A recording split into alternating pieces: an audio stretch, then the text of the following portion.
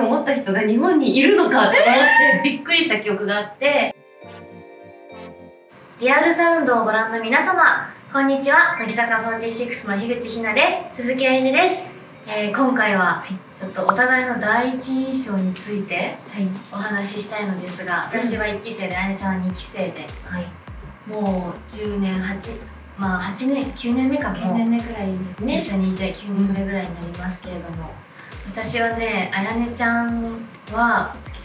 あの当時1期生の中で全くいないタイプの子が入ってきたぞっていうふうに思ったのを覚えてて。当時のあやねちゃんって多分緊張もあったと思うんですけどあんまりこう1期生の前でたくさんおしゃべりするというよりかは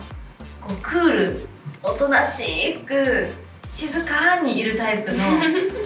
子だったのですごいこうミステリアスな空気を身にまとってたなと思いますありがとうございます私はですね、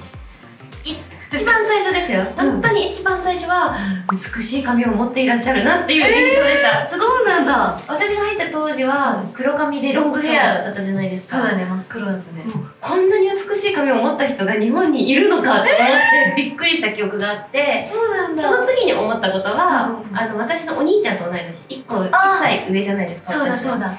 でこんなに大人っぽい人っていたんだって そっか。びっくりしましたね。私の周りにはいない感じの大人っぽさだったので。えー、嬉しい。今も変わらないですねあ、ありがとう。です。なんかなかなかなかったね、こんな。二人でこんな長くいるのにお互いの第一印象を言うことあんま初めて聞きました。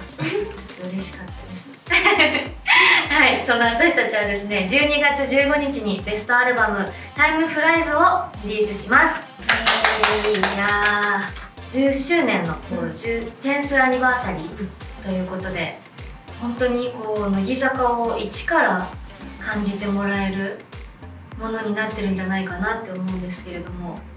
あやねちゃんいかがですか？そうですね、すごく嬉しいですし、聞きながら私たちと一緒に歴史を振り返ってもらえたら嬉しいななんて思います。はい。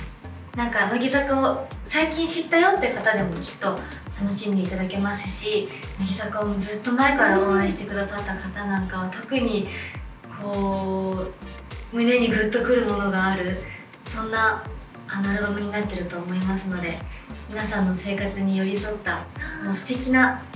曲ばっかりなのでぜひ何度も何度も聴いて楽しんでほしいなと思いますよろしくお願いしますよろしくお願いします。